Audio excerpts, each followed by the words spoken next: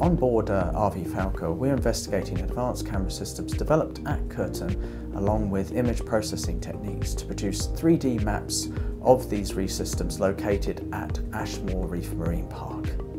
I've been involved in seafloor mapping and uh, research in that area for over 15 years, but it's mainly in, been in the acoustics and, and sonar uh, world. Uh, more recently I've been uh, getting involved and interested in developing 3D uh, models using uh, photos. I'm collaborating with some really experienced colleagues, but this is my first trip where I, it's, it's all down to me and I have to try and put the results together.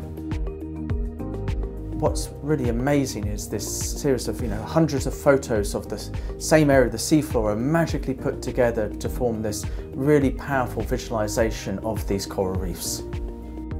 I've shared the models I've uh, produced with the science board and the ROV crew and I've really enjoyed how much they've uh, reacted to that.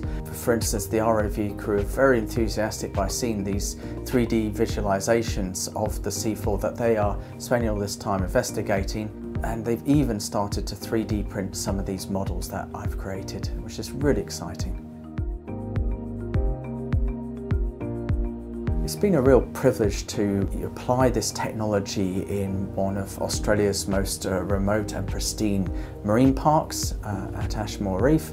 And one of the aims of this research is that we are hopefully going to provide a benchmark of measurements of some of these uh, corals so that we can monitor change going forward in time.